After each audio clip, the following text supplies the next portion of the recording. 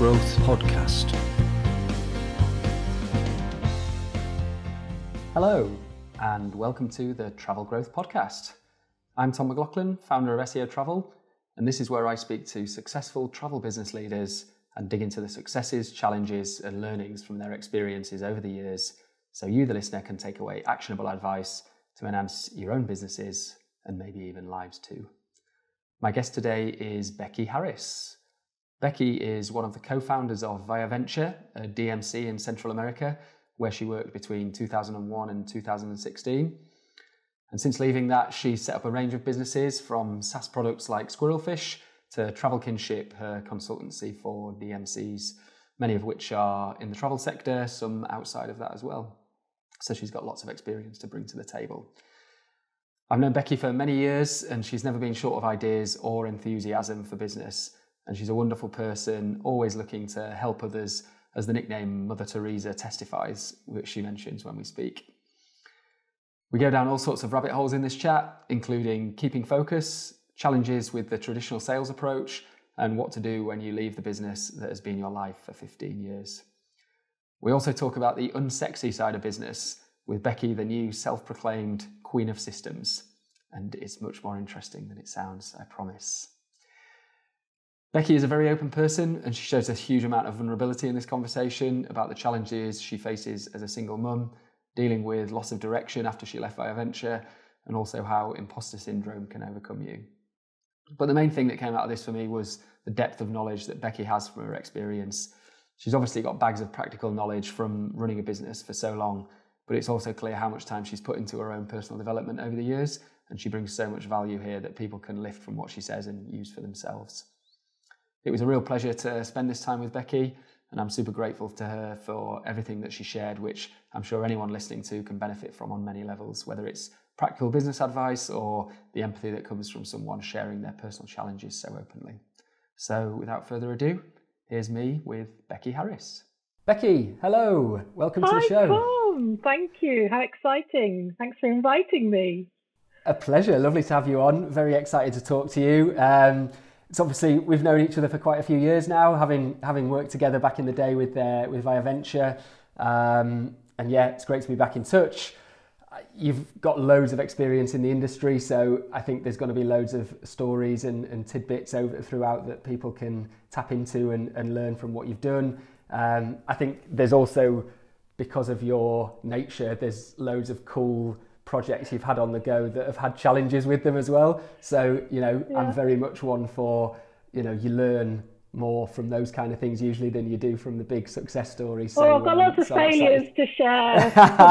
hey, failures are good things. Yeah, absolutely, absolutely. So, listen, I know anyone who's listening to this we'll leave it with loads and loads of takeaways. And oh, you know, again, just from our brief conversation beforehand, uh, you had some very cool stories uh, to to throw into it as well. So yeah, looking forward to getting into it. Yeah, me too. Yeah. Uh, so I thought, as a starting point, we could kind of go back to the beginning, and maybe you could just tell us about what first got you excited or got you into travel in the first place. Yeah, I was I was reflecting on this. It's quite hard, isn't it? I mean, I I spent five years of my life as a baby in Africa, in Ghana. My dad was working with the British Council. So from eight months to five years, I was in Africa. And I wonder if that did something. Um, and then when I, you know, I just wanted to travel. From 13, I flew to Holland on my own. I wanted to go and see a girl I met on a campsite. Um, and then when I, you know, was at uni, we were traveling whenever we could. And when I was working up as an engineer, you know, we got six weeks holiday. We'd go away every year for, for four weeks at a time.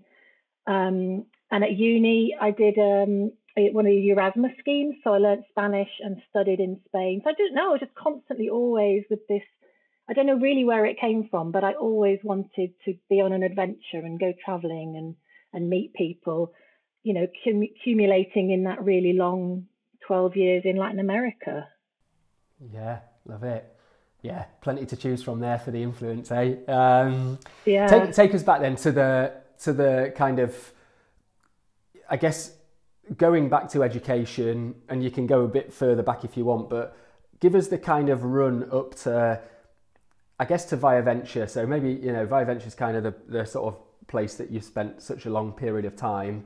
Um, mm. give us the journey from from education through to there, and yeah, maybe the kind of five five minute summary or however long it takes just to get to to get to that point and all the stops along the way. Sure. I'll come back to each of them to, to tip into in more detail there. Yeah, once you've gone. Yeah. Um, yeah, and just wink at me if I'm going on a bit. You know, kick me under the table or something. Um, yeah, so um, I studied mechanical engineering at university, and as part of that, I actually worked in different countries, so Holland, Malaysia, and um, I just loved travel. And as I, I, did about four years as a mechanical engineer, and at the end of it, I worked for ICI, and it was at that point when ICI was kind of cracking up a bit and starting to die. And my manager said, "Do you want to do like a marketing diploma or something to help you, you know, if you lose your job, um, you know, have different skills?" And I jumped at the chance, and um, I'd been in Peru traveling on holiday and had visited an orphanage, and I just had this kind of, I think maybe a lot of us go through that at different points in our life, this wanting to give back and do something. So I ended up researching uh, Save the Children and volunteering, and kind of managed to push my way into uh, the, the Latin America director's office one day in London, and managed to, to get him to say, "Yes, come to Colombia and do some volunteering." Um, so I actually I I left my job before they could sack me, which is always a good thing to do, right? Um, obviously, they were going to sack me. I was going to be one of the ones they kept on, but um, yeah. So I left my job and um, went off to Colombia. And um, I remember my my my manager at the time, who was quite a bigwig in ICI, saying, "Yeah, I can't work out, Becky, whether you're going to be successful or not in in business because you're too much of a Mother Teresa." And I thought, I thought, I'll take that as a compliment. I'm not sure if it was meant as one, but I'll take it.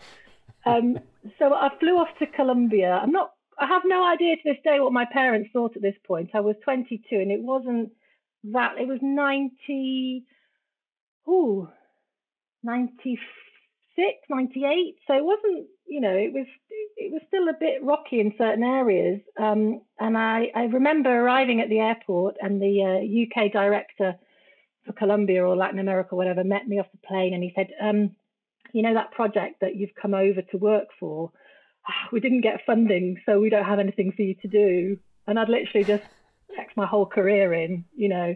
Wow. So anyway, um, I was taken in by a friend of a very good friend of mine now, Dina Aloy, who was working there at the time. And um, she let me live in her apartment, and I did Spanish lessons, and I traveled around Colombia to the bits you were allowed to travel around to at that time. Um, I remember like sleeping in hammocks in Parque Tayrona and just, I mean, Colombia is just gorgeous and they've done such a great job of their marketing um, in the in the last decade or so. Um, and I just had the most incredible time. And, and Dina was, you know, my savior. She managed to get me um, a position in Save the Children Sweden in Peru, which is Rädda Barnen. And so I had this epic journey from Colombia to Peru where I went down to the south of Colombia into the Amazon, got on a boat and, you know, like a, a little boat with all the locals and went through the Amazon into Peru to Iquitos.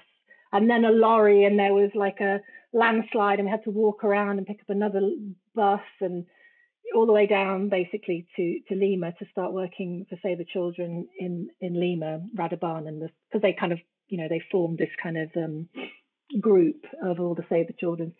And I worked there for about, well, I volunteered and then they gave me a job and I worked there uh, for a year, traveled, you know, all over Peru, another country I adore, um, just had the most incredible time.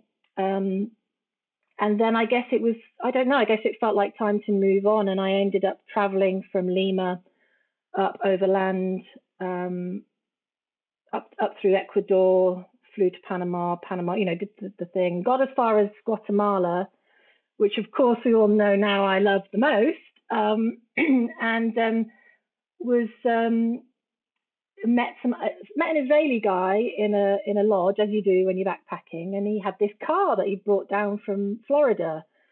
And being 20 whatever and a bit dumb, I thought that's a great idea. I'll buy that off you because he was going down south and I was going north. So I said, "Oh, can I buy that?" Or he was trying to sell it, and so I bought this car off him. Um, and I didn't have my driving license with me, and I didn't think about insurance or any of those things, um, and just then started driving. So then drove through Belize, Mexico, made up something about losing my driving license in Mexico with the police so I could get some kind of documentation. I think my mum must have eventually faxed something over. I don't know, but you know, I fluffed yeah. it somehow. Uh, as, you don't worry, do you, when you're that age about anything happening? Um, and of course, I, my, my my grand plan was that because I had this car, you know, it wasn't flash, that I would pick up all these great, you know, gorgeous guys and like drive through Mexico. Um, and um, if you read my emails at the time, which my mum diligently printed out, which is incredible, all my Hotmail emails. Wow. Um, it was like, oh God, this guy is like a right smelly hippie, or you know, the crazy Polish guy. All the women I met were amazing; they were brilliant, you know. Yeah. Um, but uh, and I remember in the Yucatan, so I hadn't been going very long, and um, the car was an automatic, and I'm British, so I wasn't used to an automatic, and um, and it had one of those weird little things with the safety belt, you know, felt like a really rubbish 60s sci-fi thing, you know. Um, anyway, it got stuck in third gear in the Yucatan, and I took it to all these garages, and they couldn't work it out. And I thought, oh my god, I'm going to be stuck in like third gear. And I thought, oh well, never mind. I'll just go around Mexico in Crack third on. gear. what else am I going to do, right? Nice, um, love it. And then some magically, the car gods. Um, I must have lit the right candle, and um, it freed up, and, and I could drive normally. And I mean, it was the most incredible time. Mexico. I mean, it's so vast, it's so different, it's so gorgeous. Um, you know, and this was in, I guess, 2000. Yeah, because I'd been in Cuba yeah. for the millennium. Um, oh, that's another quick hilarious story. Do you know, you know, you know, you know EastEnders. So yeah, back yeah. in 1999, there was Colin, who was part of this gay couple in EastEnders, and we met him in a nightclub in a cave in somewhere in Cuba um, on the Millennium. Yeah, that's one of my favourite wow. things anyway, um, so I keep driving through Mexico, um, go up through the states. Um, how did we go? We went up the middle to Denver, down to LA, up the coast, along, and then up to Toronto. I, am not sure, like three months must be more the whole trip. Mm. And basically, yeah, it was we arrived in Toronto in a in a snowstorm. Well, I arrived, sorry, me and the car, because the car's called Priscilla. Obviously, it has a personality. Yeah, yeah. I was going to say, must have been personified own. at some point. it had all stupid things stuck to the, you know, that I'd picked up along the journey, and I had crosses yeah. hanging from the mirror. In fact, I got stopped by the cops in Ohio or somewhere. Um, uh, because and their, their excuse was, "Oh, madam, you're not allowed, or ma'am, you're not allowed to have things hanging from your mirror." But I think they just thought I looked a bit dodgy. Yeah, um, yeah. And so then I left my car in Toronto with Dina again. You see how Dina featured so much. She was literally nice. my saviour. And um, what happened next? Oh, then I went back to Britain and I did some work for like a business corporate responsibility company because you know that thread of helping people um, I, I, thought mm. that was great the mix of it was kind of new at that time you know businesses building that into their corporate strategy and, and their staff um, but when i was in la i met someone who worked for ici who i knew and she was looking for a replacement so i ended up applying for an engineering job in la got it and so ici paid huge amounts of money to get my visa sorted um, they even shipped Priscilla down from Toronto. Um, and I think I told you that, you know, when I, I was at, it was National Starch, which was part of ICI in, in LA. And um, this lorry rocks up in front of the office because um, they've shipped my car and they roll the car out of the back of the lorry, which has come obviously from Toronto. And the guy's like, yeah. I can't believe they paid to ship this car from Toronto. But the worst thing Amazing. is I only lasted about like eight months and then jacked it in because I couldn't. I don't know. I guess I still had that travel bug. Um, but it yeah, was a really interesting job.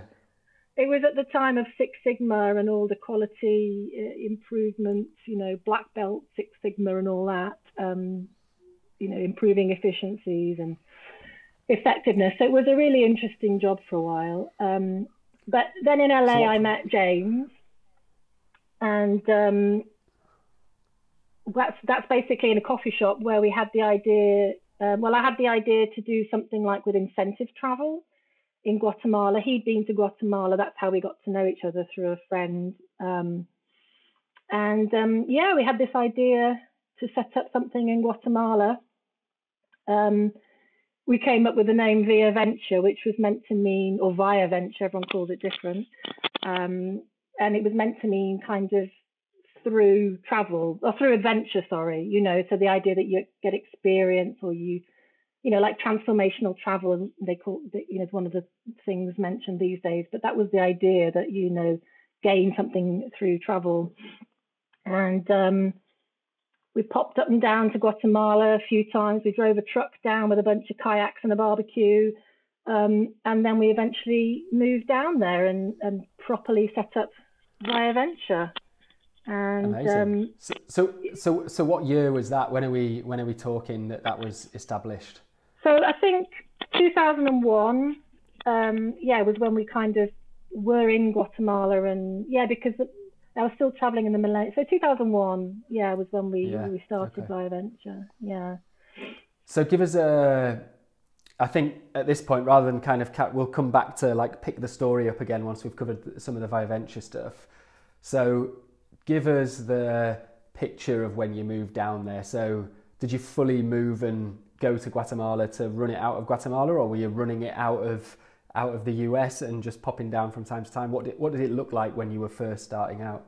When we first first started, we were in a flat in Glendale, LA, um, sleeping on a mattress on the floor. You know, boxes as um, boxes as our kind of tables, and um, we had a fax machine in the kitchen because in those days, you know, it was really faxes was the way. So we were faxing hotels in Guatemala to get their rates. Um, I've got some old photos of me in front of a whiteboard pretending I knew what I was doing. Um, yeah, so I don't know how long we did that for. Um, and then finally, I think we just decided we needed to be down there. Um, so we moved down, and I've got I've got pictures of us living in really horrendous places in Antigua. Um, I remember us having like straw mattresses. Oh yeah, and James's mother lent us her horse packing boxes so she used to go horse packing into the in the back country in California. She had these like big metal boxes that would turn into a stove and storage, and we brought those down on one of the trucks, and that was our kitchen. Um, so yeah, we um, you know we we I mean early days we met Beat Beat Brunschwiler, and he was already in Antigua, and he had this great um, mountain biking and hiking and kind of outdoorsy outfitter, and um, I remember him being so suspicious of us when when we first met him. I think he thought we were going to like steal all his info, and you know, because um, there was a lot of that going around, a lot of competition.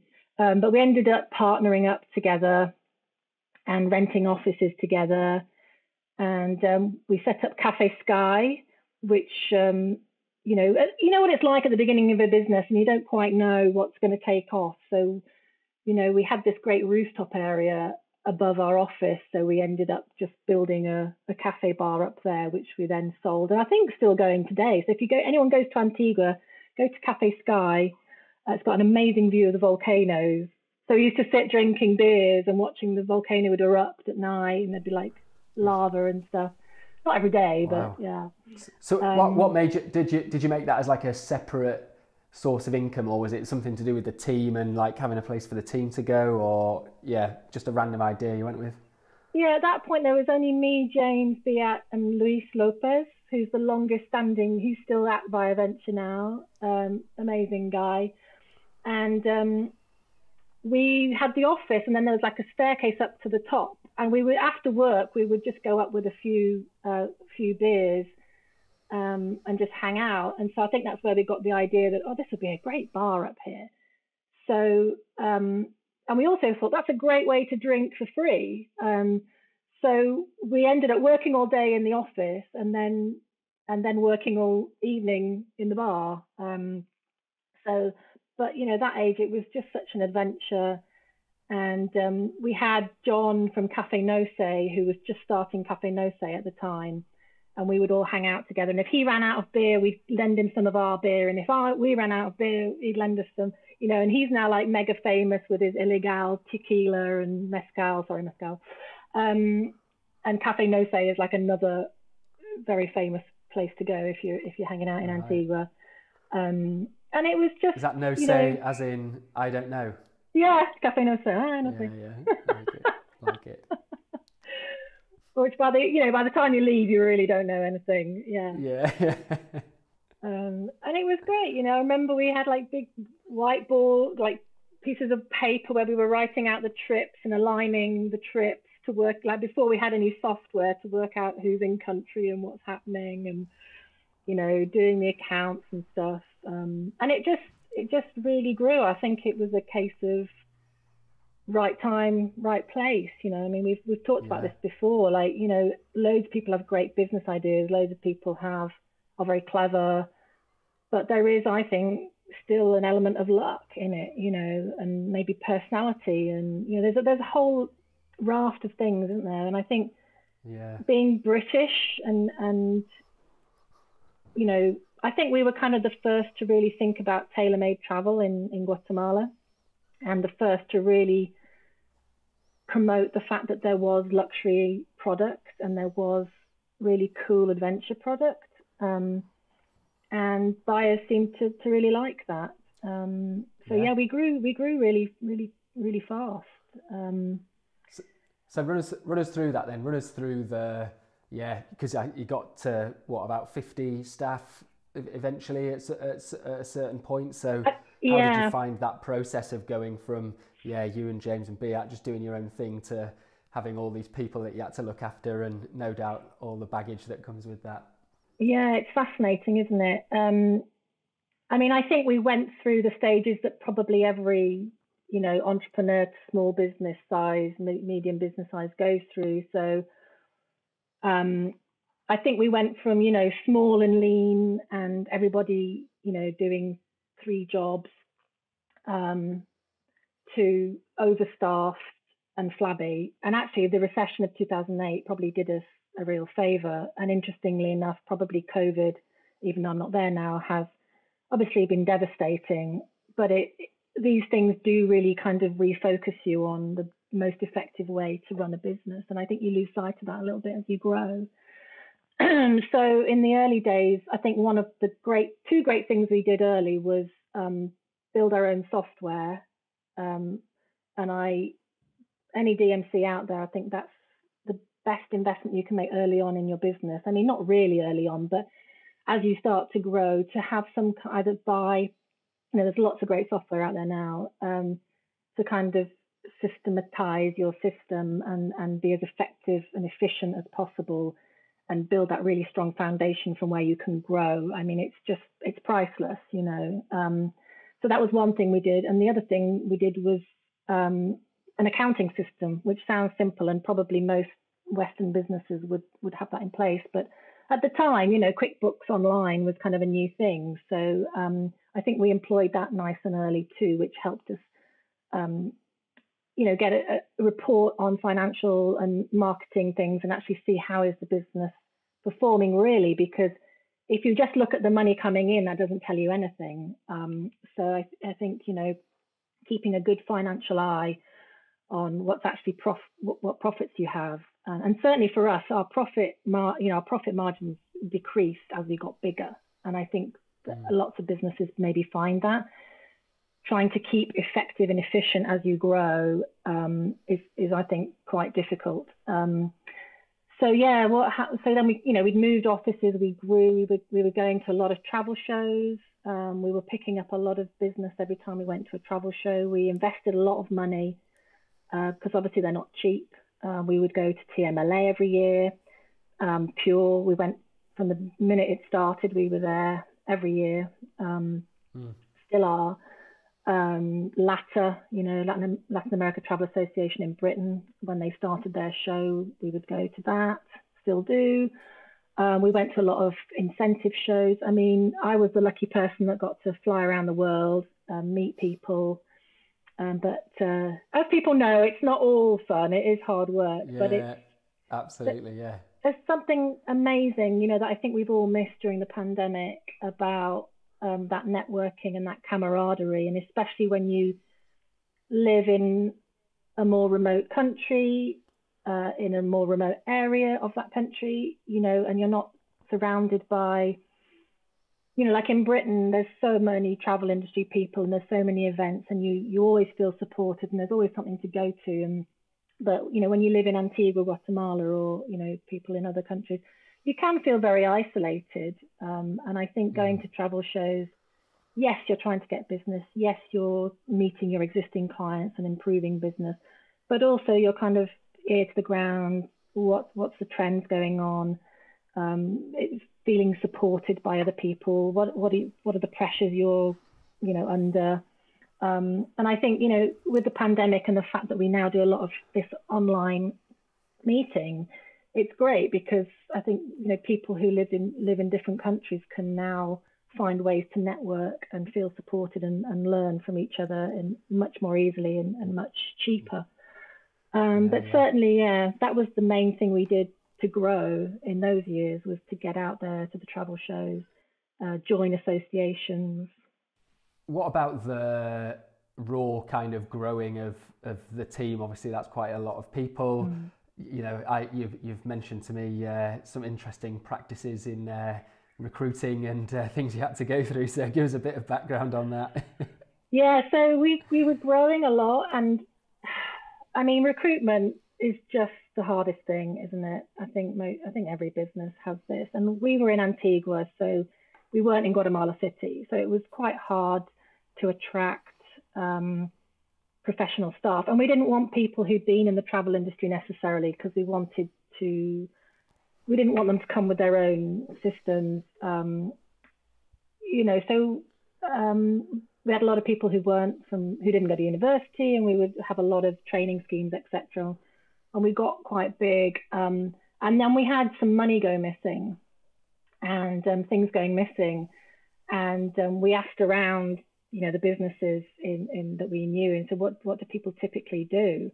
and they said, "Oh, we get um, we get like a security company to come in and interview everybody, and if necessary, do lie detector tests." And we were like, "Oh God, is that is that legal?" And they're like, "Yeah, yeah." So we did that, and it we found out who who stole the money. Um, and then everyone said, "Yeah, yeah, we, don't you don't you do that as part of your recruitment?" Um, and um, I'm probably going to get in trouble for this, aren't I? But um, yeah, so then it's a different we place, isn't it? Interesting. It is. It is, and um, it's not, and it, you know, it's kind of standard practice, and it's. I don't want people to think that you know people are, are, are you know, got electrodes on them. I mean, most of it is just uh, an interview process, but it it really helped us because um, I mean it is a serious thing. We have lived through um, certain threats and, and certain things that have happened that you know are very difficult. And what you're trying to do really is make sure that the wrong people don't infiltrate your business. At the same time, it does help, uh, you know, find good people. Um, but yeah, that was one of the things that that we did at that time. Um, and you know, just over the years, we learned how to, you know, set people certain tasks because you don't have to know anything about travel, but you have to know about customer service and reading an email and you know thinking about what Western travelers uh, are looking for, and you know giving great responses and and showing your knowledge and kind of you know one of the things I would say about the sales team is you are actually training your client at the same time as giving them a quote. Like the more mm. information, options, you know, and the quoting process, you know, that's one of my uh, bugbears or one of my things I think people don't think about enough and train their staff enough on because speed is everything, isn't it? Especially these days. And we're in competition with, you know, online sales. And and we're at different time zones around the world. And so when you know the quoting process is so important and it still kills me how people keep sending emails and don't pick up the phone. It's like if you want a quick mm. Thing, pick up the phone. And if you want to give a quick answer, pick up the phone and get all the information you need quickly uh, give all the options.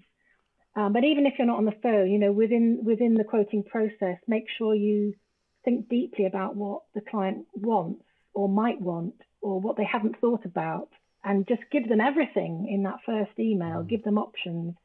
I'm a big um, supporter of breakdown pricing. You know, I think uh, you know we've got to interact in a way that's efficient and effective and and helps create a sale. Bit of a tangent there, yeah. but yeah. yeah, no, but I think you're right. It is, uh, you know, the consultative selling thing, kind of, you know, it, it, going back to the recruitment side of it. It's, I guess, it's getting people based more on values and yeah, rather than sort of like you say, judging them on their current skills. Yeah, like, you're right. You know, Values. you can teach anyone. Yeah, no, sorry, I cut you off. Then I'm such a blabbermouth. Yeah, but you're right. I mean, values is maybe slightly different, but it, absolutely important because you know I think we were trying to create a, a strong culture in Viaventure of you know sustainable travel and good business practices and fair business practice. I mean, we always paid our staff over over the norm and, and expected, you know, good service. But also, you're right, like it's the character of the person. I mean, sales is such a hard job. Well, it's all a hard job, isn't it? Operations is a crazy job too. Um, I mean, you know, you never know when the phone's going to ring and there's a problem with the van or the hotel or whatever. That's what we called operations, you know, in the field, guiding, driving. Um, but yeah, in the sales team, you know, you have to be fast, but um, precise. You know, you don't you're dealing with a lot of money. You can't make mistakes. Sometimes you get irate clients, um, not very nice clients. We've talked about that as well, haven't we? That you know, one of the things I don't like in the travel industry is some buyers, obviously, you know, a small percentage of buyers treat suppliers like the slaves, like you know, um, don't treat them really with respect and ultimately you are nothing without your supplier. And, and to me, it's about building a really strong relationship between the buyer and the supplier and uh, trust and creativity and you know working together to develop new products new ways of selling um, and and you know actually you know us training the supplier sales team but also training the buyers sales team because we rely on them doing a great job to make sure that they sell in, in a in a real way and so i get I get really upset when I when I hear of buyers treating uh, sales teams badly. And actually, we did we actually did tell a few buyers to, to we didn't want to do business with them anymore because of of of you know how they would treat the sales team and actually how their clients treated um, our supply our suppliers, so the restaurants and the hotels. I never forget I had to mm. write an email to all the suppliers on a particular trip and say would and apologize for the way they were treated by the, the people who travelled. And um, wow. Yeah. Yeah, I mean, the thing your your values are only as good as you're sticking to them, aren't they? So if you you can write all your things on a on a website in a list in your promotional material, but yeah, if you don't if you don't stand by them when you're when you're doing it, they're not yeah they're not really uh, they're not really worth it, are they? Well, I was just going to say quickly, I think that's the pressure of working in the luxury travel industry because, um, I mean, a lot of people in luxury are are great, but there are a certain element of luxury travelers who kind of just want something, and th- and they're throwing you a lot of money, and you know it, it takes it takes values to say no. I'm sorry, you can give me as much money as you want, but that certain thing is not possible. You know. Yeah, yeah, yeah, absolutely. So you also had a trio of leaders when you were at Viaventure. So you, James, and Beat, as I understand it. So tell us about the challenges of that situation, how it worked, how it didn't work. what was the what was the experience like?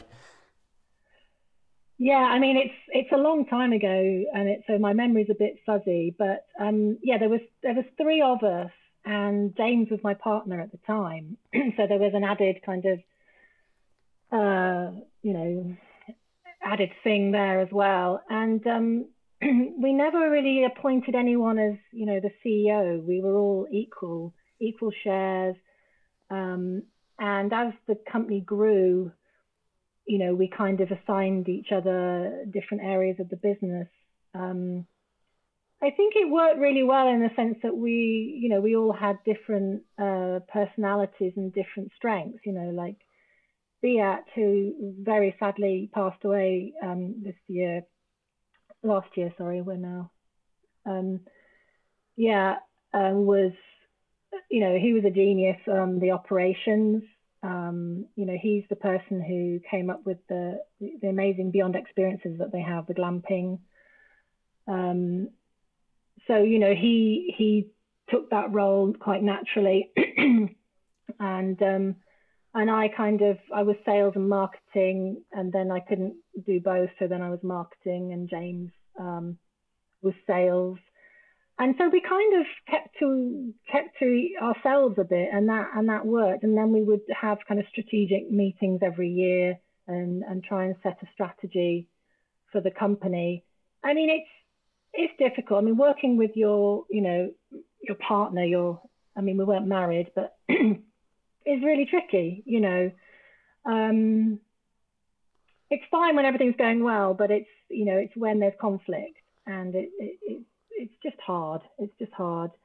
Um, but to be honest, I think we did we did pretty well for many years, you know. And then when when James and I split up, I did try and, and keep going, but it was just it was just really difficult. And I think in the end, I found that I just wasn't giving 100%. You know, my heart just wasn't in it, and so I decided that it was better that I left. Um, but I so think, when was that? When when did that happen? When did you when did you when did I leave? So we split up in 2009. So 10, 11, 12, 2012, 13. I can't quite remember. Um, mm. Yeah, and I think that's something for any business um, is to be clear on the, the leadership structure.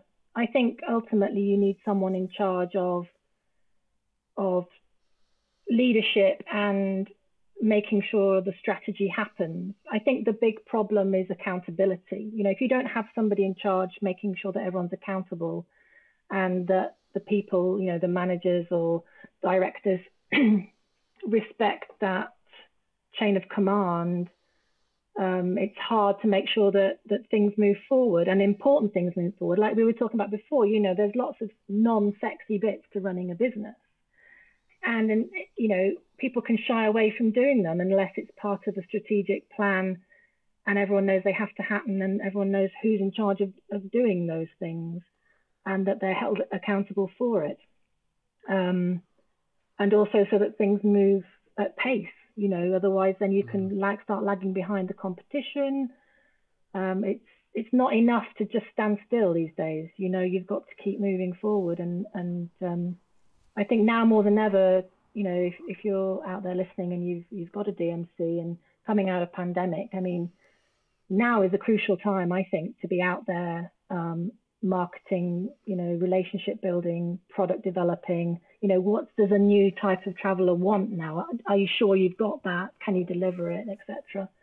Are you picking yeah, up new yeah. business? Um, so yeah, it was tricky. it was tricky, and um, I think you know that whole what we were talking about with with with um, recruitment too is is having a really good um, HR structure, a good organizational chart where everyone's very clear on their roles and responsibilities, what they're meant to be doing. I mean, we've tried very hard to implement a decent HR program where we'd hold person reviews, set goals, you know, um, every year sit down, did you know what did they meet their goals? What were the issues? You know that, and that is non-sexy work. It's really difficult, and to get managers to do that and to, to do it well rather than just box ticking.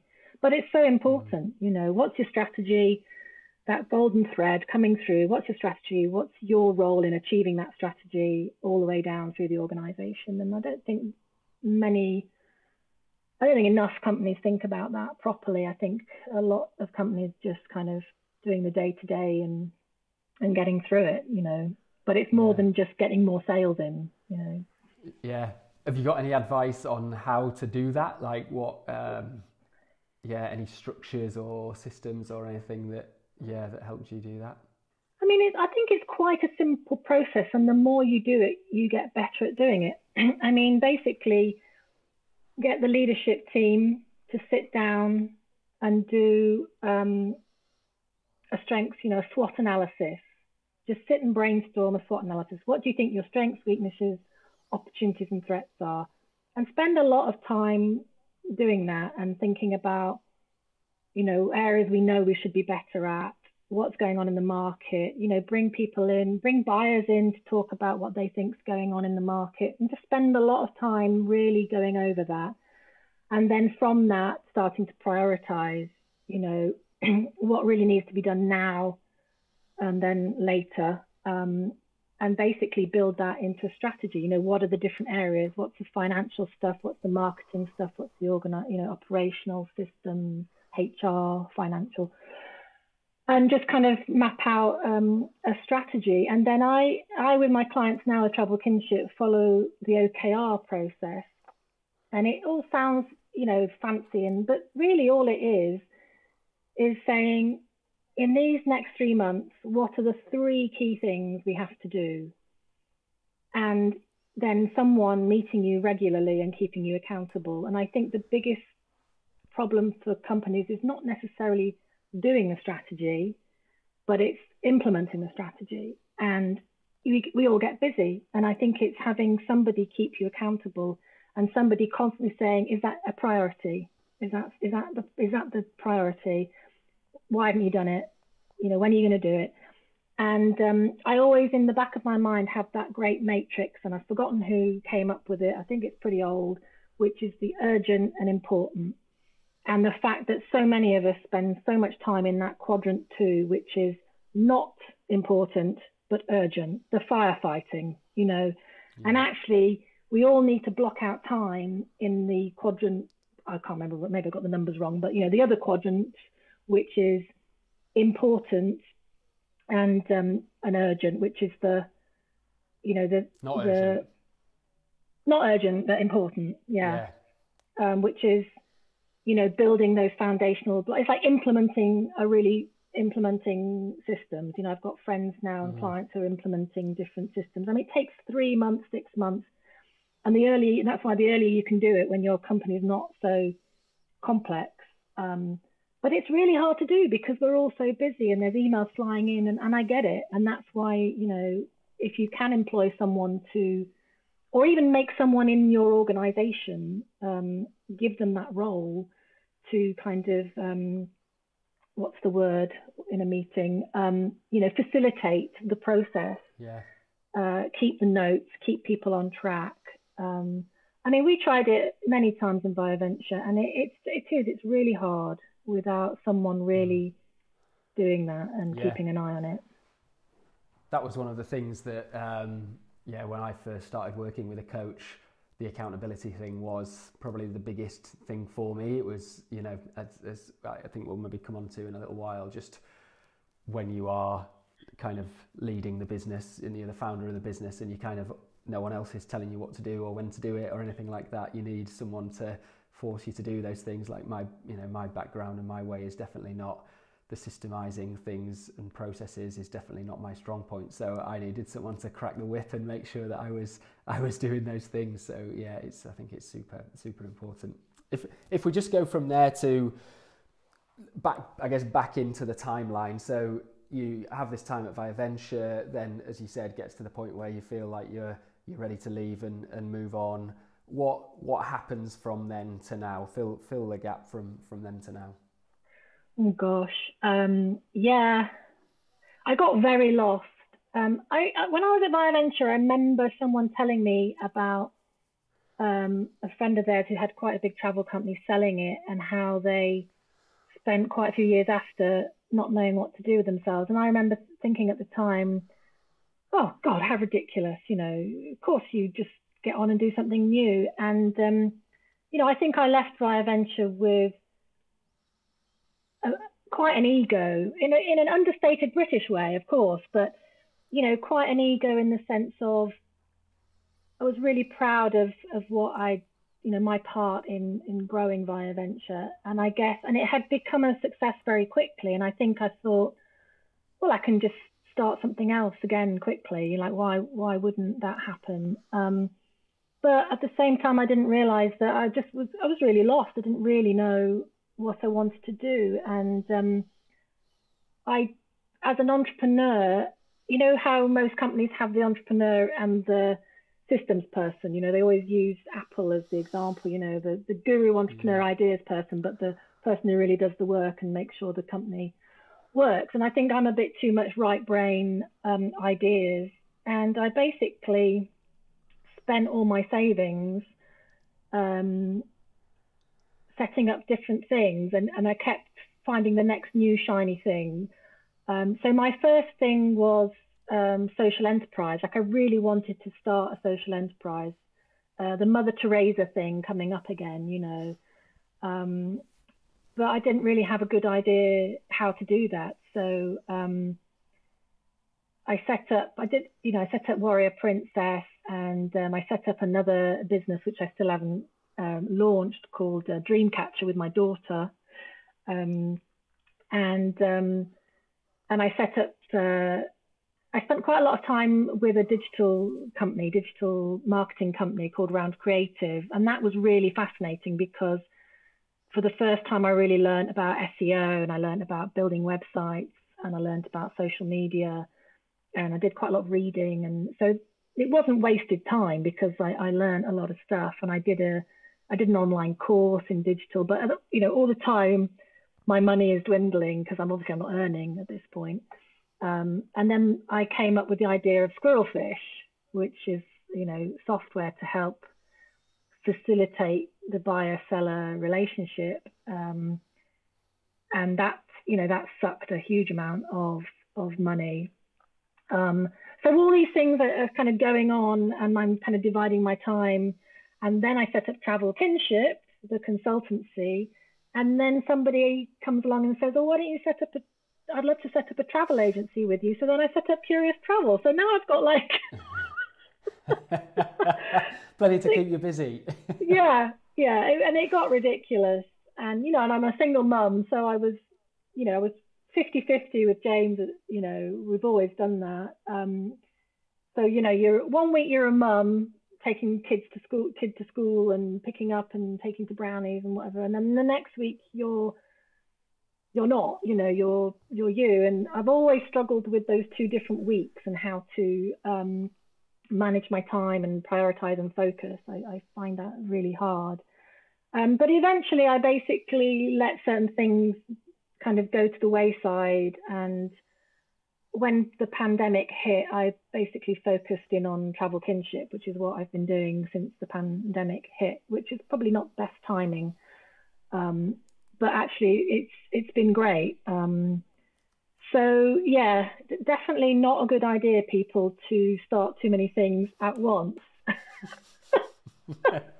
it's it's true though, isn't it? You, you you know this is the mistake. Well, this is a thing that so many people do.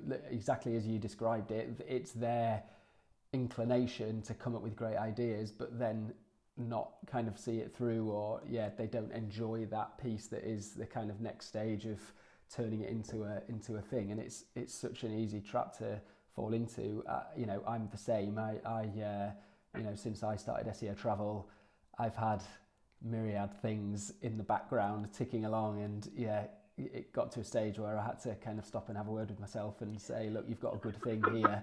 start, start spending your time on on that, and rather than trying to find some magic, you know, diamond in the rough over here, it's like you've you've got it. Kind of do do something with that. So, um, yeah. so I do, you know, I do think it is a very common thing to do, but I guess it's the it's the way up of exactly as you've described it like what's the thing that you put the effort into? Like why why do you do that? So where where are you at the moment with that kind of conversation with yourself? Is it have you have you you said you're putting more focus on travel travel kinship. Is it, uh, you know is that the plan to zone in on that or is you know you're still trying to juggle a few things? What yeah where, where have you rested on it at the moment?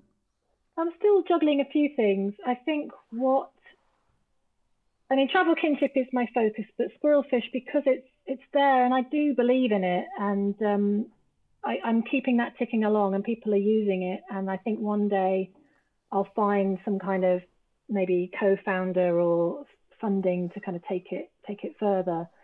But um, the other thing, the thing that I've managed to do much better now is block out time in my diary. So now I have a schedule of which days I work on which businesses and obviously, travel kinship, I need to be answering emails every day. But if I block out time for Squirrelfish, so I'm still kind of keeping Curious Travel, Squirrelfish, and Travel Kinship all ticking along. Um, unfortunately, they're all to do with the travel industry. yes. I, I, I, did do a selling on Amazon course during the pandemic, but um, so far I'm, I'm just sticking to travel. But the interesting thing is they do all complement each other, so they make sense.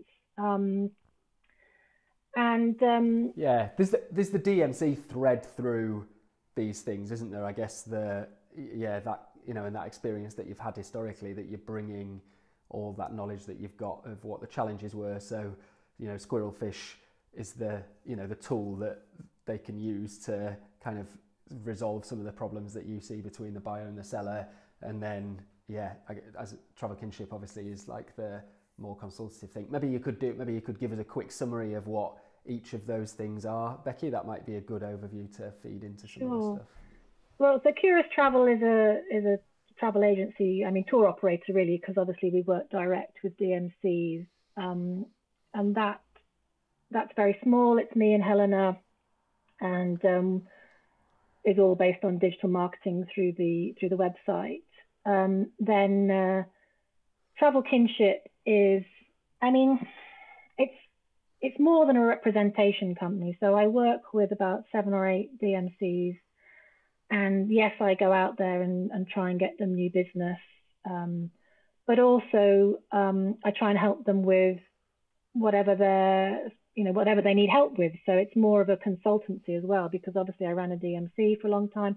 And with Curious Travel, I, I can, and now I've got the, both sides of the story. Um, and the, and the big thing is helping them be more effective, more efficient systems, customer service, um, you know, and product development.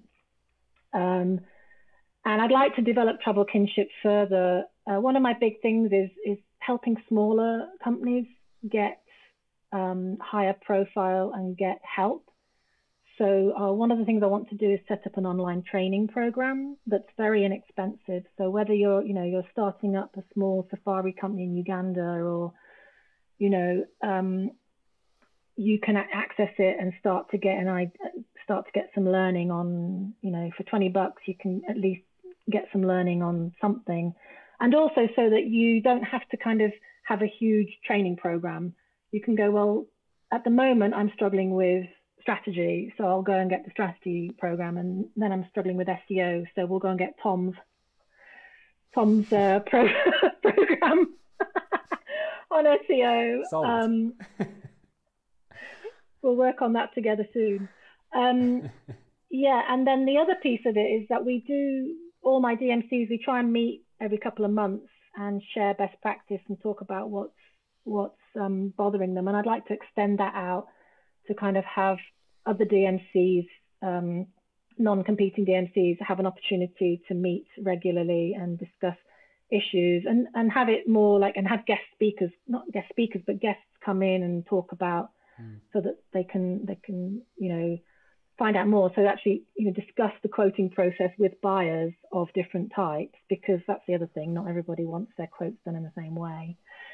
Um, so yeah, that's kind of travel kinship. And then uh, Squirrelfish is um, is a platform for buyers and sellers. Um, it's kind of like LinkedIn for the travel industry. So the idea is you um, can go in and as a supplier, you can go in and find buyers and try and connect. Uh, and once you've connected, the buyer then gets access to all your resources. So it's also a digital asset management system. So suppliers can upload all their images, videos, example itineraries. If you're a hotel, you can put your spa menu, you know, uh, fact sheets, etc. Um, but it's, you know, I got frustrated with, as a buyer um, that everyone uses Dropbox and Google, and there's like millions of folders to go through, and you, there's bad titles, and you can't find what you need. Um, so it's it's aimed at being useful for a supplier to use it itself for its own staff. You know, I need a swimming pool photo. You type in swimming pool and photos, you know, that have that come up. Um, so it's you can download different sizes of images. You can download horizontal, vertical, you know, whatever. So it's much easier to find what you're looking for and organize things.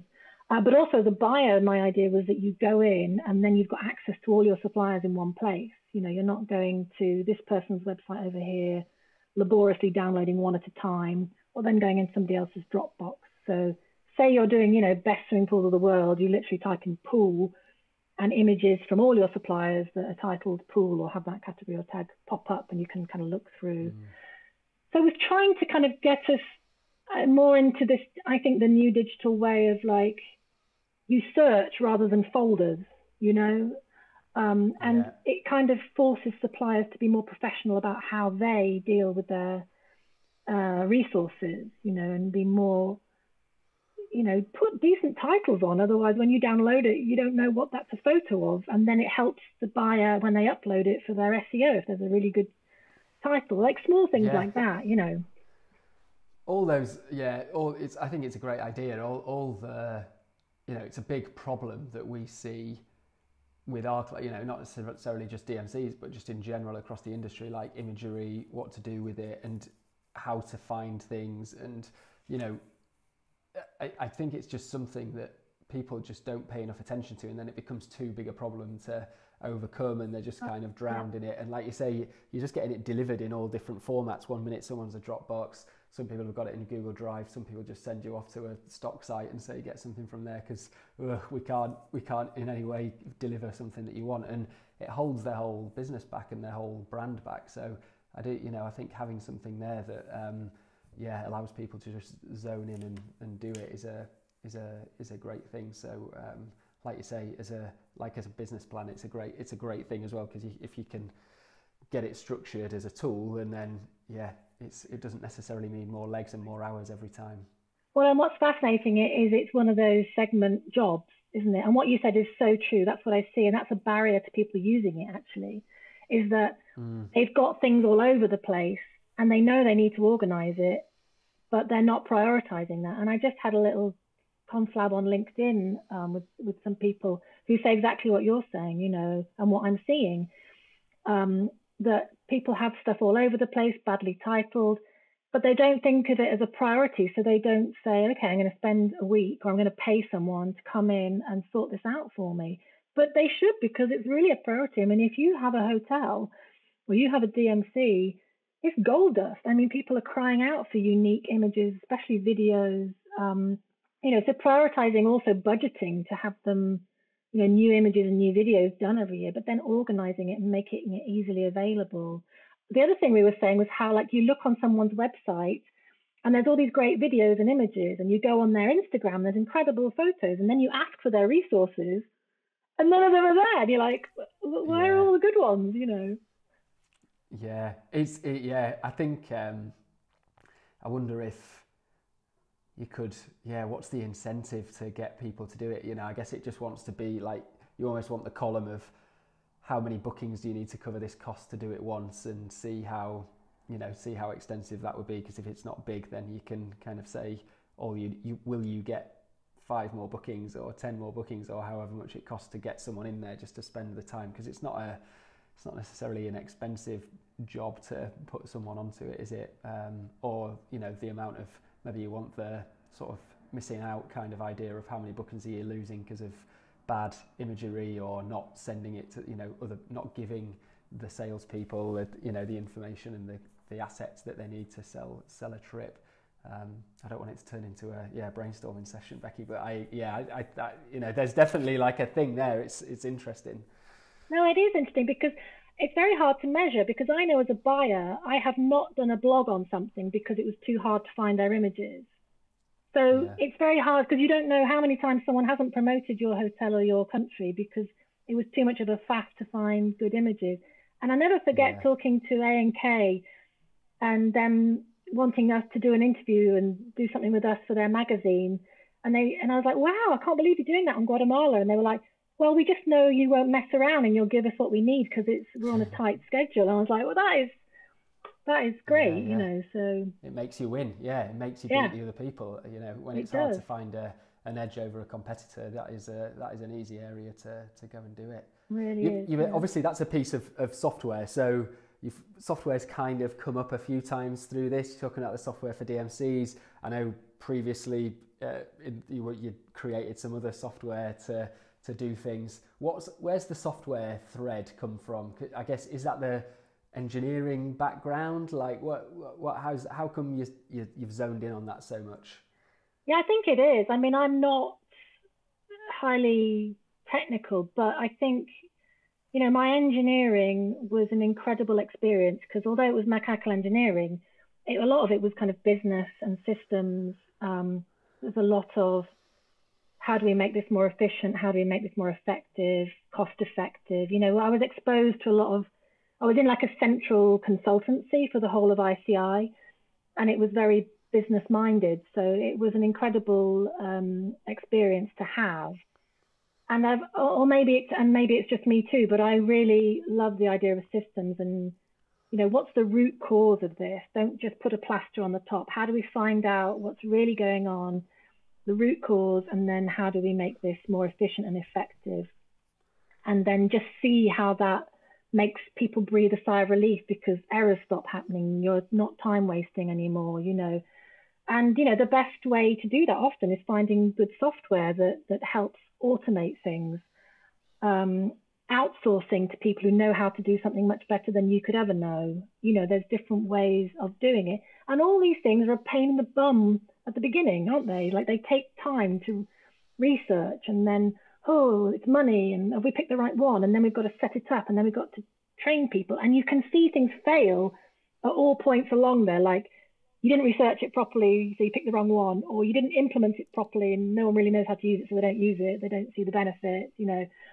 So it's, um, you know, and I think people want these magic solutions, don't they? Um, but yeah, I think engineering was what got me uh, into into systems, and and I just see how it can make a difference, and it kind of drives me crazy.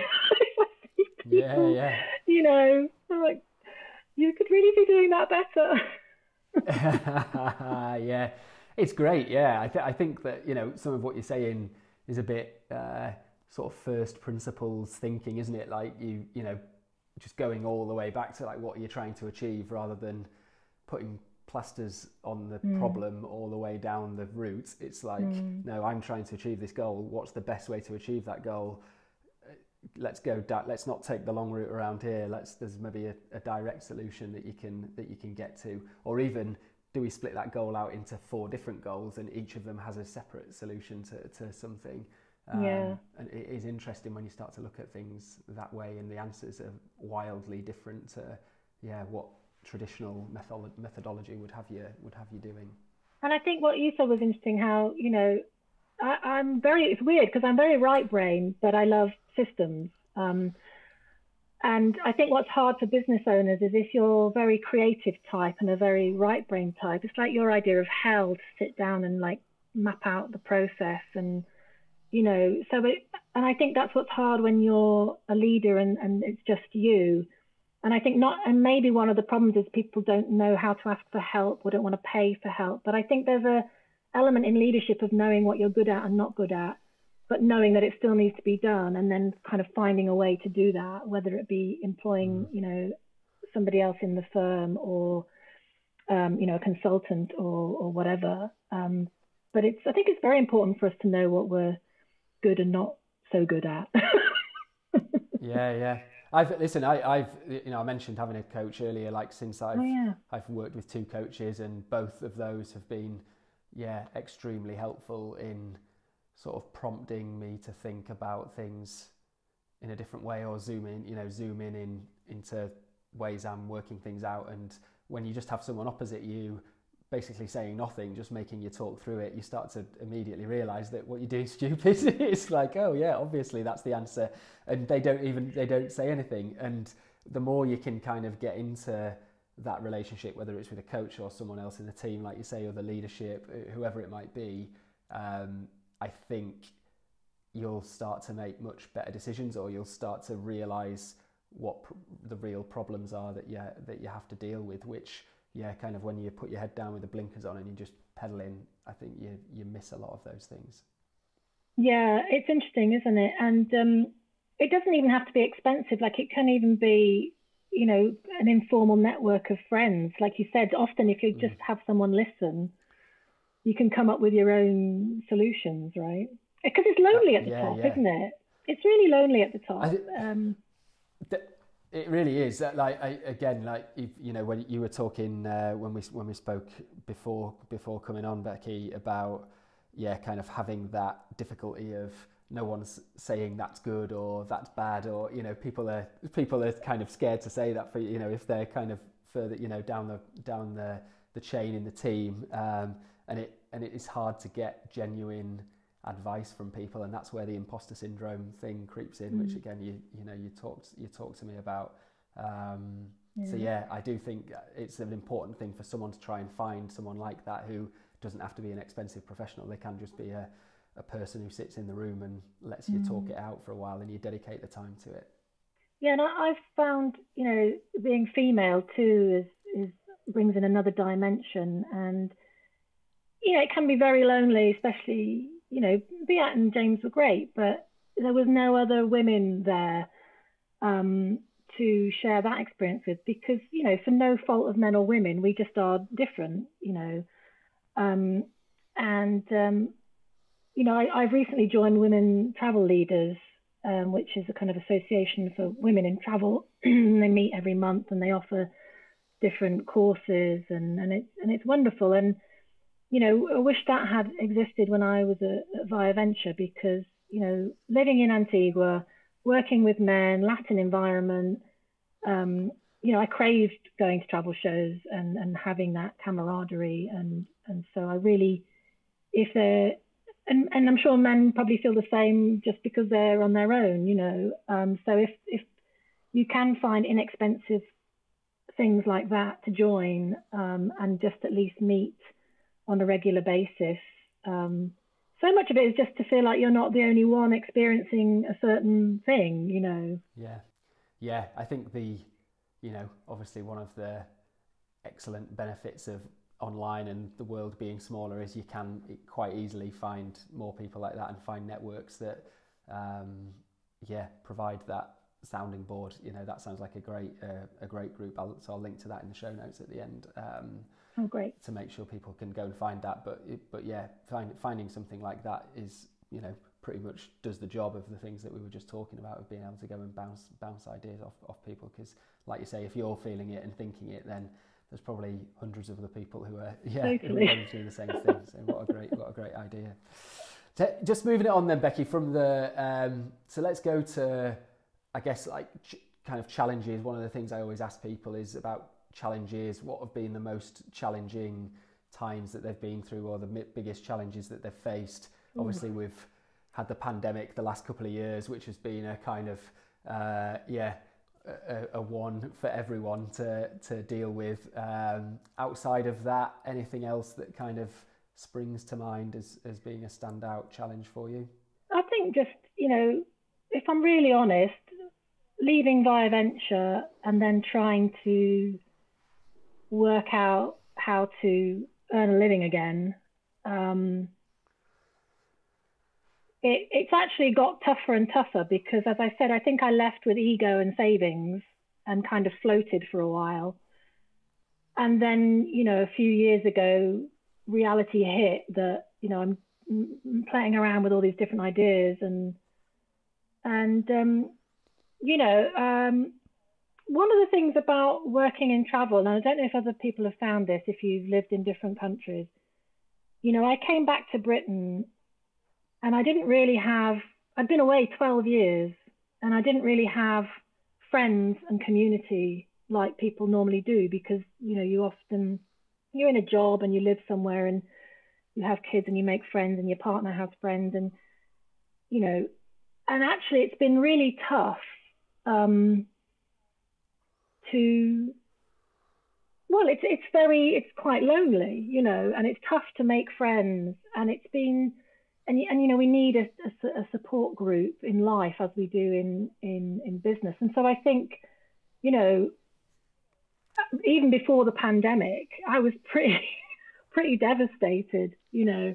I hit really low um, so i've hit lows and then i think that's a low and then it goes even lower you know. And i think um, you know, depression is is a funny thing, and and you often don't realize that's what you've got. Um, so I think one of my challenges is is having been on my own and not having any other income. It's been very hard, a to focus because of the kind of person I am, and to just pick one thing, and b just it's been really scary. Like, how am I going to survive, uh, support my kid?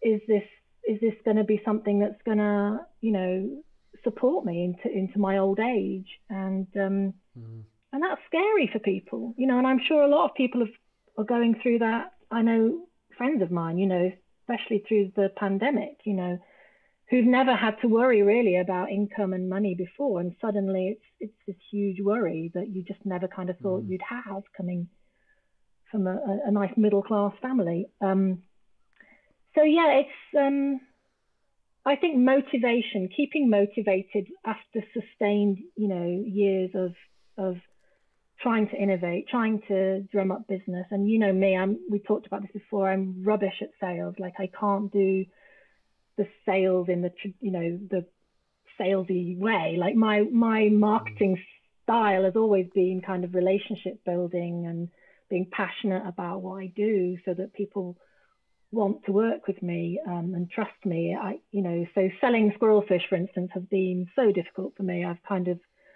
I can't do that or I haven't, you know, got good at it yet. Um, and just, you know, constantly trying to learn new skills and trying to, you know, at, at my age, you know, I'm hit 50 and, you know, I'm constantly trying to learn about different things, the digital marketing side of things. I mean, software is just evolving all the time, isn't it? Uh, and mm.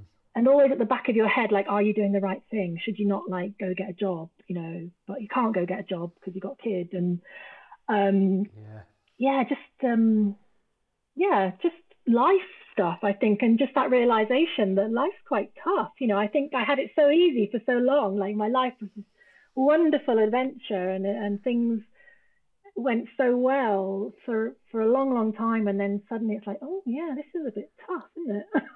yeah, yeah, yeah. You don't. This is it. You don't know what's around the corner, do you? And uh, you know, even, uh, like you say, you come from the the privileged background, and yeah, I can it's kind of empathise with that of being like, oh yeah, it's all it's all ticking along, and then suddenly you've just got this hammer blow out of left field, and you d- you don't know where the money's going to come from and and what you're going to do. Um, I, I, you, there were a couple of threads there that you mentioned that I'd like to I'd like to pull on. Um, the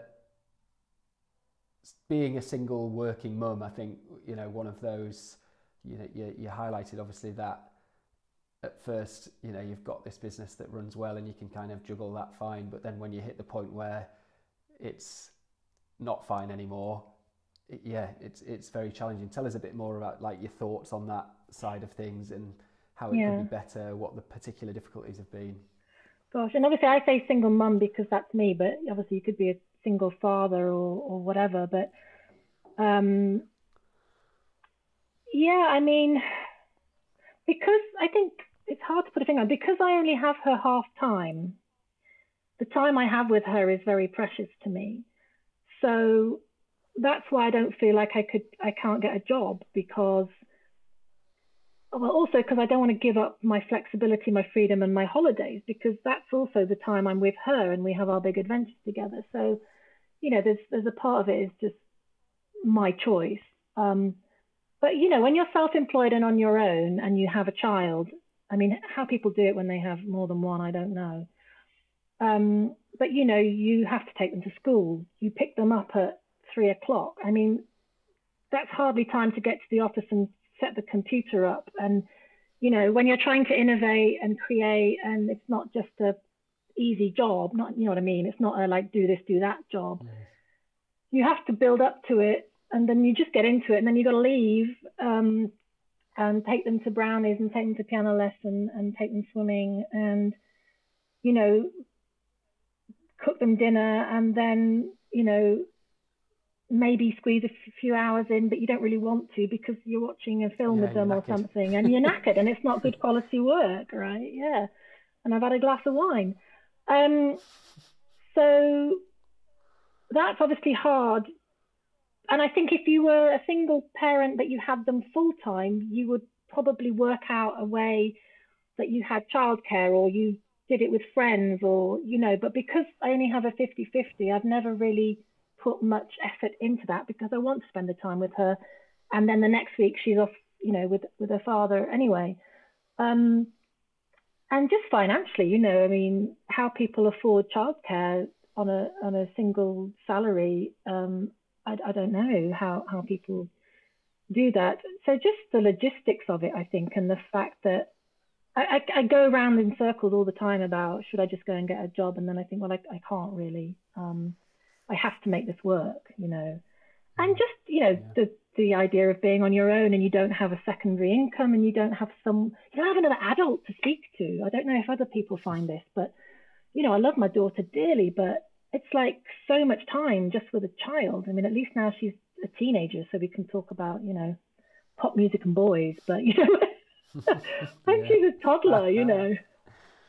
Yeah, yeah, absolutely. I don't feel like a natural mother really either. You know, I think a lot of people feel like a natural mother and but there's a part of me that's like I want to be working you know I want to mm.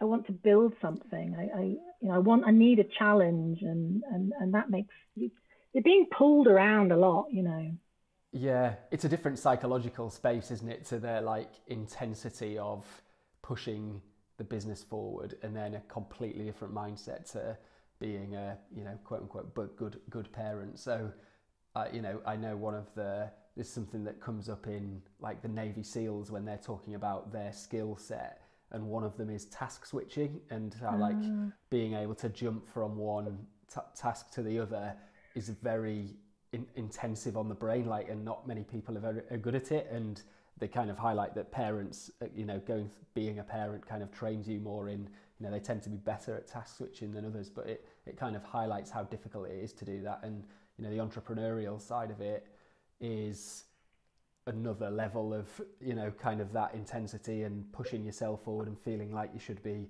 filling every minute with doing something productive or pushing something forward which you know when you're then torn in that space of every other every minute should also be looking after your your child and again when you're in that kind of uh, single parent scenario that time I guess becomes even more precious so uh, so yeah, I think it is super, yeah, super, super difficult. So maybe I should become a Navy SEAL. Maybe I'd be really good at it. Maybe you've missed it, Becky. Yeah, maybe maybe that's where you've, missed, you've been mucking about with this software and stuff and uh, travel. Yeah. You should have gone down the Navy SEAL route. That look great in a uniform.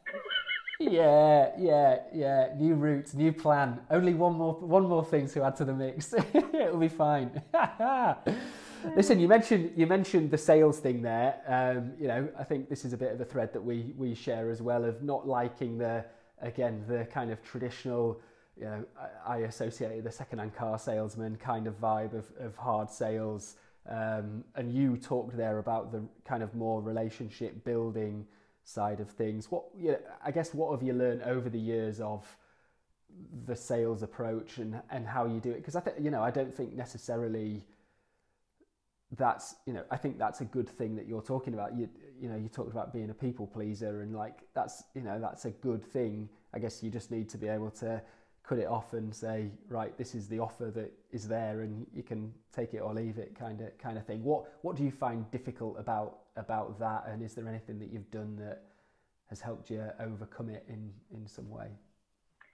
Yeah, it's interesting, isn't it? Because in as a travel supplier, you're not selling in the traditional sense of like, here's a widget, buy it. You know, you're, um, I mean, you, I guess you are if you're doing B2C, but predominantly most of most of us are, uh, well, used to be anyway, B2B, and so a sale is, you know, in, encouraging a buyer that they a they want to they want to be interested in your destination, and and b that you're the right company for them. So it's really a, it's not for me, that's not a problem because I believe in it and it's more a conversation and it's it's persuasive. It's like, you know, you know, here's why it's wonderful and here's why we're wonderful, and it's a conversation and it's a slow burn and it's it's getting to know each other.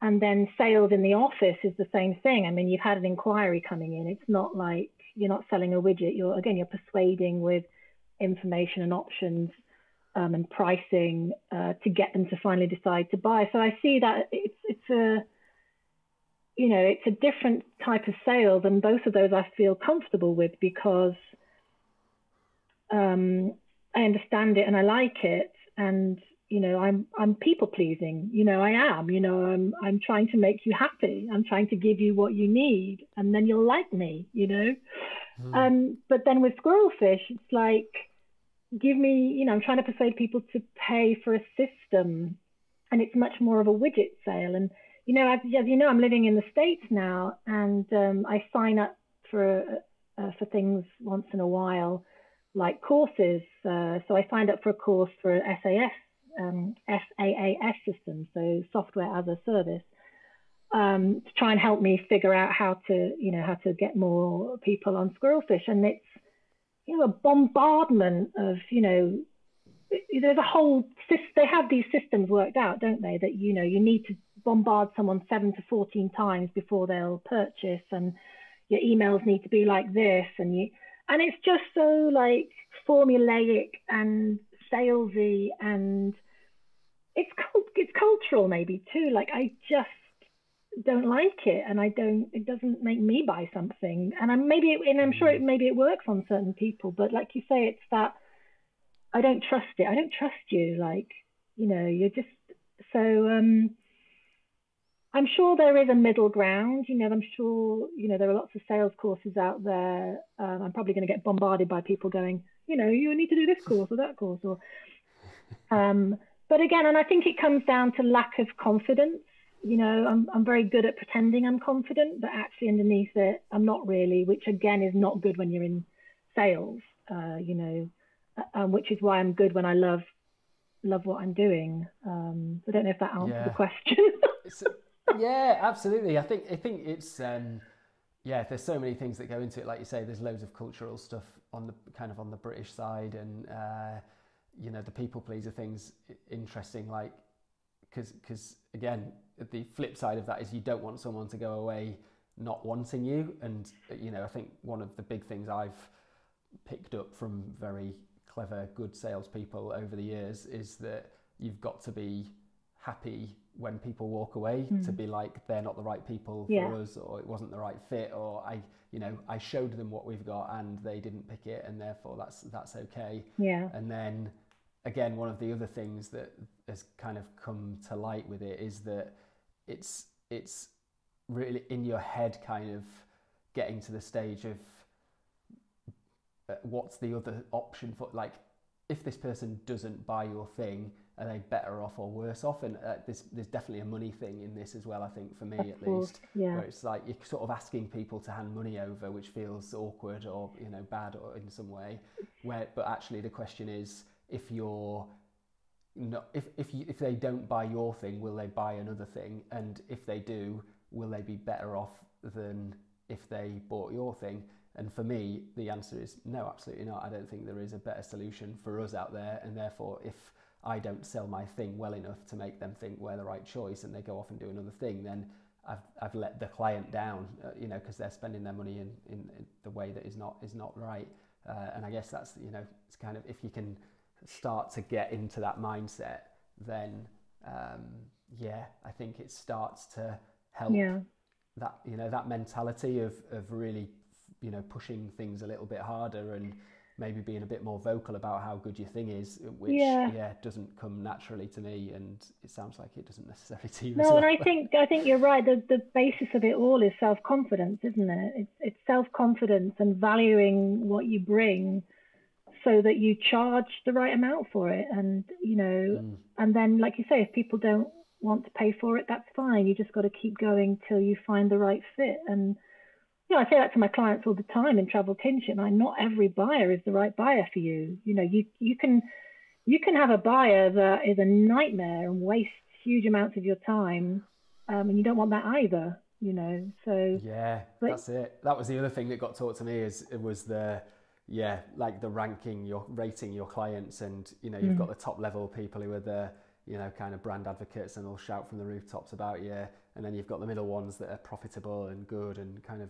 sort of follow the path that you want them to and then you've got these people down the bottom that are just like suck the life out of people and suck the profit and the money out of the business and you know people cling on to those people because they see it as money coming in, but actually you need to get rid of those people. Yeah. Not you know they are a negative impact, and yeah, the more you do that, the more space you make for your your you know your AB clients. That and that's you know, you know that's a fascinating thing that again people don't do enough of. We used to call it client development plans um, in Venture, and it's something I want to get onto with my clients once business is, is back and running. Like people are constantly investing in getting new clients and they're not spending much time looking at the clients that they have and working out how to get more business out of them. And I'm always astounded mm. how few DMCs and probably and maybe hotels too. It's still it's still useful, especially for B2B. Uh, don't monitor conversion rate. You know how many of the inquiries that you get from a certain client are booking, and then and then what's what we used to do map out different types of buyers. So like high sales, high conversions. There are amazing clients we want to look after, but then how do you improve the conversion rates on the other ones? How do you, com- you know, if someone's a really good converter, low sales, how do you work on that? And who are the ones that you really think we need to see what's going on here, and maybe they're not a good idea because we're getting like 20 quotes a month and not booking anything. So I've, I, do not know, it's expensive. Are we wrong? We're just wasting each other's time here, you know. And sometimes you can yeah. turn those around. Like you've got to give them a little bit of time. But yeah.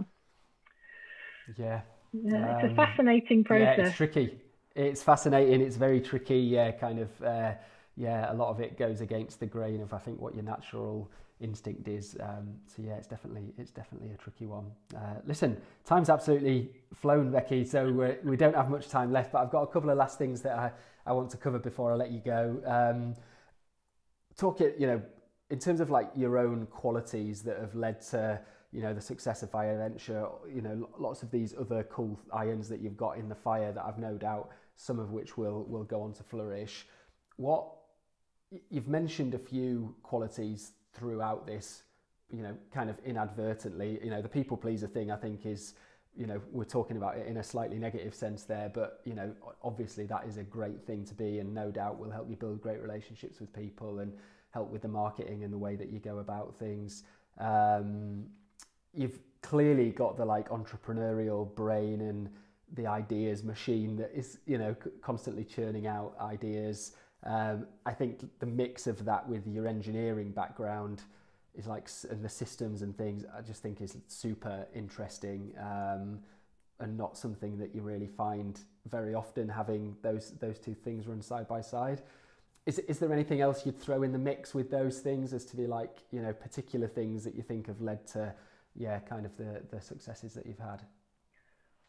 Oh gosh that's really hard isn't it? Um i think i don't know if it's a i always want an adventure i don't want life to be boring i don't know if that's what you mean but i think that that drives me forward um you know, that's what keeps motivating me. That's what, you know, maybe is the problem of, you know, starting too many things. Um, I don't know. It's one of those questions you probably have to ask the people around me. You know, I think I must have some strength inside, you know, to have kept going and, you know, deal with other things. Um, I mean, I'm, I'm impatient, which is a bad thing, but at the same time, you know, uh, it, it makes me it makes me you know keep going and want things done um, yeah i want things done you know i'm a doer you know mm. um, and i yeah i'm a people pleaser i think people like me people like to do business or if they don't like me that's fine you know but most people seem to like to do business um, I think some people find me quite inspiring, and, and that's kind of a big headed thing to say, but I really like that, and that and that is a if that's true, that's great for you know the things that I do with travel kinship. Like I want people to want to improve their businesses, improve the way they do things. Like I don't have all the answers, but half the battle is inspiring people to change, right? Um, so maybe something like that as well. Yeah, yeah, love it. I think that uh, yeah, that desire to keep learning mm. seems to run through the things you know you're talking about. You you're always get you know you talked about doing loads of courses and yeah, kind of go branching out into different areas and picking different things up. You know, that's something I try and you know, it's one of our big values here is uh, is doing that, and I think that leads to that generally leads to, to good things if you yeah if you combine it that internal motivation that you mentioned uh, yeah. yeah you need it, don't you, to keep to keep pushing along and oh, yeah. Uh, yeah, make make things happen. So um, so yeah, no, that all that all makes makes perfect sense. um, so I guess to finish and just kind of draw things to a close a bit. Um, there's loads of stuff I've yeah I've, I've still got written down things about like the Atlas Association and yeah ethical travel and all these different kind of things. We'll have to do another one, Becky, at some point. Um, but it's been yeah listen all the stuff that we've talked about it's been uh, been super interesting so equally I didn't want to you know don't want to shut things down uh, to to do that um, so we'll have to we'll have to come back around to it again or yeah join a network or start a network where we can carry on talking about it um, tell what what would you say to someone to, who's thinking of starting a travel business or they're just starting one you know they're in the early days what what advice would you give to them what are the kind of biggest lessons that you've learned from your experience getting getting to where you are now? Oh gosh, that's a big question. Um, I think, especially in this day and age, and it's certainly how we started Viaventure. I think it's incredibly important to involve the local communities um, and involve people, and that's a very broad thread. Um, but it's kind of like a Simon Sinek why thing, you know, like why are you doing this business? So you don't don't do it if it's just to make money. I think these days in travel, do it because, and I'm talking well, I, from a buyer point of view too, like do it so that because you want to make a positive impact in the countries where people are traveling, but also for the people traveling. Like I think you know the term transformational travel comes up a lot now, sustainable travel but also really you give your travelers the best experiences by working with the local people and making them ex- super excited to welcome people and show them their culture and also you know it makes money for them spread the wealth get people off the beaten trail show them things that they didn't know before so you know product development is so key and you know it's what's going to set you apart. It's what's going to keep you relevant and keep you fresh every year. Um, you know, excellent guides, developing your people, developing communities so that they come to you with ideas and they want to do it. And when people travel, they're just so welcoming and it's so important. Um, so that's one thing. And then the other thing I would say is invest in systems as early as you can um, and, and find someone who who like systems and data to be part of your team. That you don't have to give them shares, you know. Um, just have someone who's kind of practical and efficiency and effectiveness. Then you've got the creative side with the product development, but then you've got a strong, you know, running company like a like a you know you've got systems and like a franchise. You know, you've got your how we do business um, as well. Mm. Have you got any resources that you'd recommend on that front, Becky? Things that have guided you along the way, courses or, uh, yeah, I don't know, websites or anything like that? It's a minefield. I mean, definitely accounting systems like QuickBooks, just get that going as soon as you possibly can so that you can report on your financials and know your profitability and know cash flow. Cash flow is a massive issue. Mm. Um, in terms of operations, there's a lot of different um, systems out there for different sizes of DMCs. I think it's really important. So, you know, a, a back end, a back office system that looks after how you do your quotes. You know, you've got all your supplier prices. You can do quotes really quickly. You can still be tailor made. You can still be creative, but you know, it's it's a system so you don't get errors in pricing, and then that leads to guide allocation, driver allocation, hotel bookings, you know, keeping track of hotel bookings and confirmations, you know, in many countries can be an absolute nightmare. Um, and then payments, you know, and you can have one system that looks after all that and, you know, different, you know, your accountancy team look at one area, your operations team look at another, and your sales team look at another, but it's all within one system. Um, and as I say, you can have fairly easy ones to fairly, uh, you know, to very complicated ones. Um, I know a lot of people also uh, want lovely, beautiful itinerary builders, which I think is great for B2C, but I don't think is as important for, for B2B. Um, mm. So yeah, I mean, I think it's that back office system that's the, you know, it's, it's the everything. Yeah, the yeah. Mm. yeah, yeah, yeah. I think this episode's gonna have the word system somewhere in the title. it's, such a, it's definitely uh, a prominent thing, and, and oh like I God. said earlier on when we were talking about it, it's not my like it's not my thing, but it's the thing that over time, as I've learned, is like crucial. Exactly as you say, it is crucial to making things work and not just having this chaotic business that things are running around and you, is completely out of hand and, and uncontrollable. So yeah. yeah, I would certainly certainly vouch for that, and I'll see if I can find any resources that I've you know that have kind of guided me along the way to, mm. to link to in the show. I can well. I can give you a list of different software systems as well that have kind of friends of mine have been researching, and we can always pop that in as okay. well. Yeah, fantastic. That would be. I'm very boring. Um, I'm the systems girl. Hey. I know. Yeah, but listen, you know, it's underrated, Becky. It's underrated. Um, systems are sexy, man. I'm going to buy a T-shirt. I, well, I think the other thing might be, uh, yeah, yes, another another thing you said earlier on was the, uh, you know, the unsexy part of business. So maybe it's like systems, the unsexy part of business, and something else we'll we'll throw in there. yeah, not quite clickbait, but hey, we'll see how it goes. If you, um, definitely put sexy in the title, then people will want to listen to it. yeah, uh, yeah.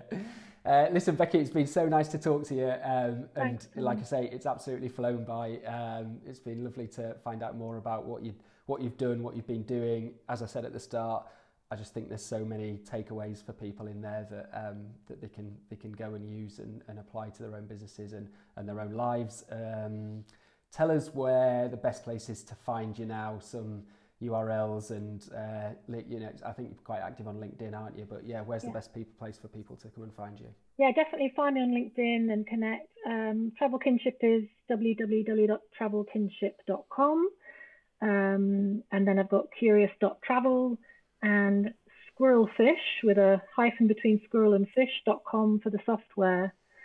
Um, but yeah, find me on LinkedIn. You know, I love meeting new people and starting up a conversation and learning from everyone. As you say, yeah, got to keep learning. Love it.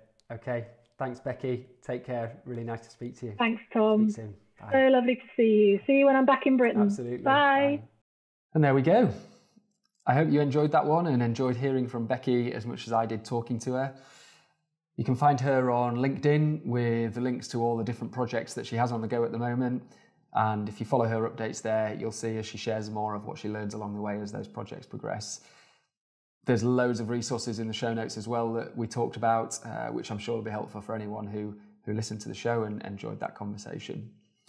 All those show notes and links are at seotravel.co.uk forward slash Becky hyphen Harris. That's B E C K Y hyphen Harris, H A R R I S. And you can also watch the video of the conversation there or visit seotravel.co.uk forward slash podcast for all the other episodes so far, where you can get lots of other insight as well. If you're a travel company looking for marketing support from people who really care about your success, then please do get in touch at seotravel.co.uk and we'd love to hear from you. You can also read more about our 100% initiative there, which outlines how we give all the profit that we make from the business to educational charities, both at home and around the world. We'd love your support in spreading the word so we can help those charities as much as possible. If you did enjoy the show, it would be fantastic if you could review us on iTunes and share what your favourite bits were there. Subscribe to it, and it'd be amazing if you could share it with at least one person that you know so they can benefit from the episode and the many, many tidbits that Becky offered there. If you haven't already, give our other episodes a listen. We've had some amazing stories from guests already in the first season, and there's lots more to come in season two as well. So stay tuned for future episodes. And when you do subscribe, you'll get notified whenever we release new episodes so you can be one step ahead of the game. Otherwise, thanks so much for listening. We really appreciate it. Any feedback is always always useful. So if you have anything, please email tom at seotravel.co.uk and I'd love to hear from you. And until next time, happy travels.